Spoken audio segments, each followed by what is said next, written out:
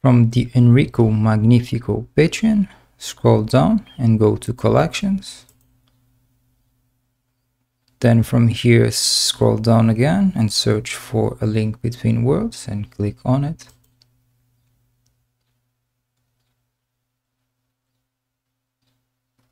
Then scroll down again until you see show more and click on it. And then you'll see the download link here. And then download the 4K textures.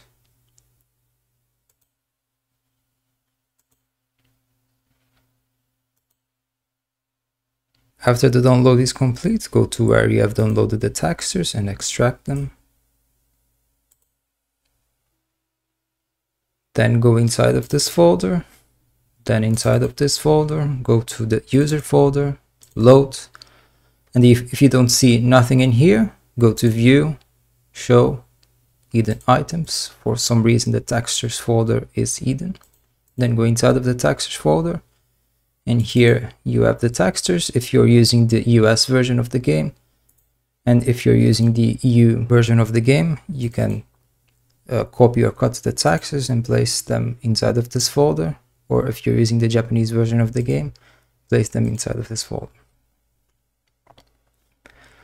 now copy or cut this folder I'm going to cut then go to Citra I'm using the Pablo MK7 fork or build of Citra.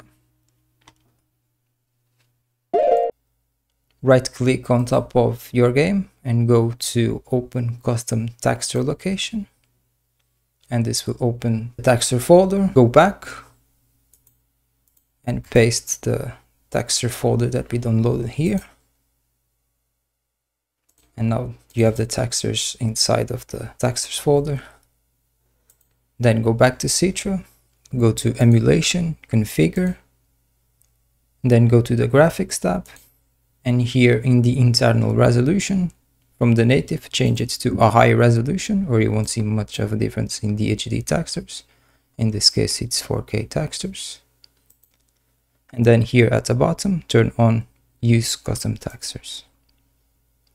And now when you load the game, the 4K texture should be working correctly.